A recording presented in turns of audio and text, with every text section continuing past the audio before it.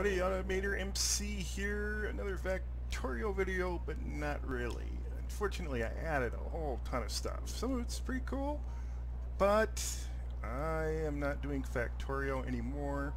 I went on the Steam forum looking for a new game to play, and in the Factorio news feed, they were the devs were pushing uh, white supremacist. Uh, yeah, kind of blew my mind. I am really up on political everything, but I don't share it in uh, my video games, and they shouldn't either. I mean, if they are into that sort of thing, they best keep it to themselves. It's too much for me.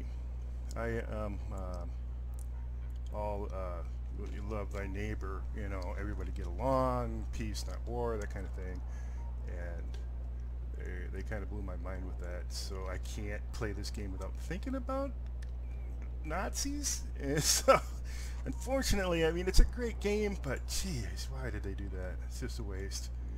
So I'm with a whole mess of people that are uh, uninstalling, getting rid of the game. And as soon as I find a new game to play, I'll make a ton of videos again. Uh, right now I'm a little busy, busy with recording music, but that will pass, and I'll get back to the gaming. I look forward to seeing you. Until then, later.